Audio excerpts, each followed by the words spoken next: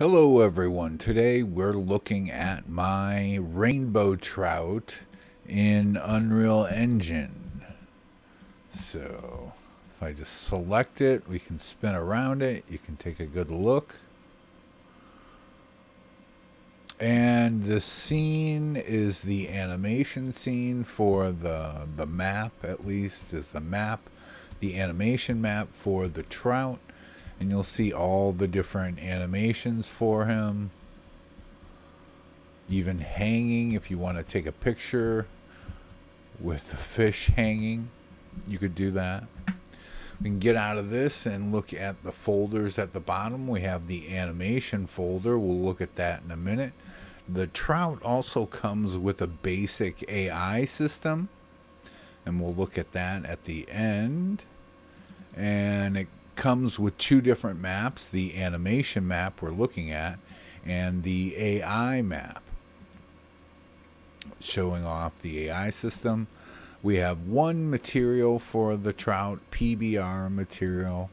Uh, here's the mesh. We can take a look at the mesh like we already have and we can take a quick look at the physics for the trout. Um, let's take away that.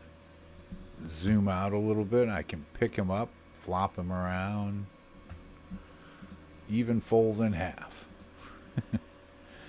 and we have a skeleton, of course. Uh, the textures, just three textures, a base color, a normal map, and a roughness.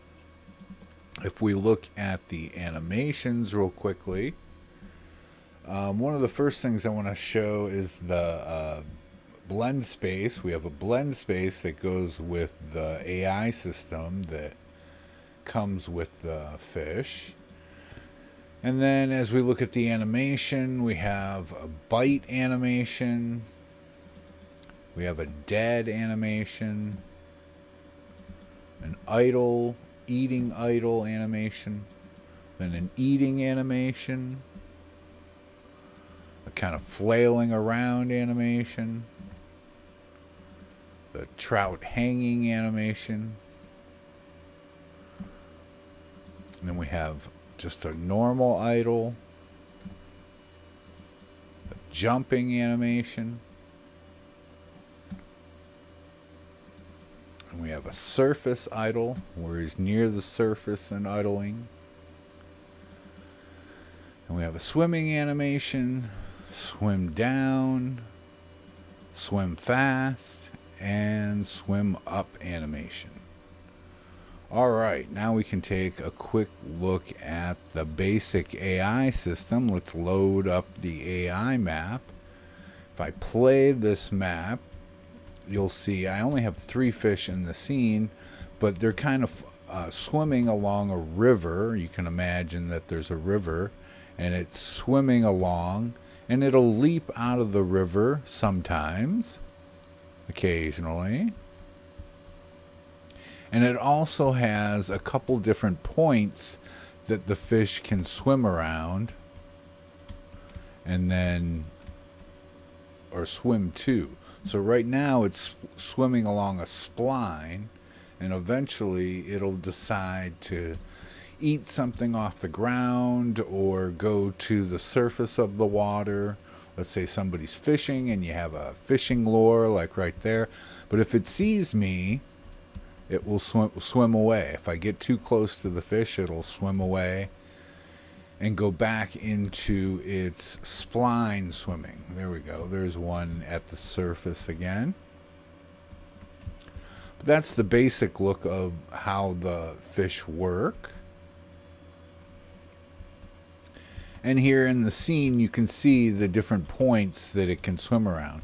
There's a ground point that you can place on the ground or anywhere near the bottom of uh, the scene or the map. And then we have a surface point, water surface point. Oop, you can't see it. There we go. That you can place anywhere or right where the surface of the water is and then the uh, fish will go to that point. So I'll, I'll show you real quickly a look at the animation blueprints, or the blueprints in general. This is the animation blueprint for the fish. And you could use, it has all the different animations for each thing that it does, or each state that it's in. And then it has all the different transitions set up. So you, if you uh, wanted to code your own fish, you could use this animation blueprint to code your own.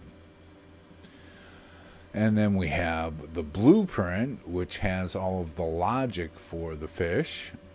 Uh, if you click on the very top option on the left, you'll get you'll see all these options you could change. You could turn sight off, turn death off, turn eating so it never goes to the ground. You could turn the surface off so it never goes to surface, or you could only have it swim and that's the only thing it does. And you could adjust some of these settings, how much time it spends at the surface, things like that.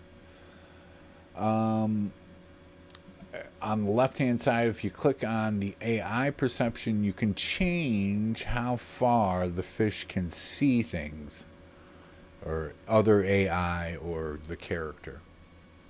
So if we look at this blueprint, the fish will make a bunch of decisions and then it from there it will go into roaming or take off or swimming uh, landing uh, it can go on the ground the water surface and then a transition from the surface to a surface idling system and uh, like I said, he can roam, it can take damage, it can detect people by sight. Uh, and then it can do, it does a hit check to see if it's hit, and it can revive itself. So that's a quick look at the blueprint for the trout. And then we have another blueprint for it, and this one sets up, has all the different parts in it. So if we click on this version and go to viewport, you can see the path that we have for the trout to swim along, and you can adjust this path inside of the blueprint to be uh, however you need it to be for your river or whatever.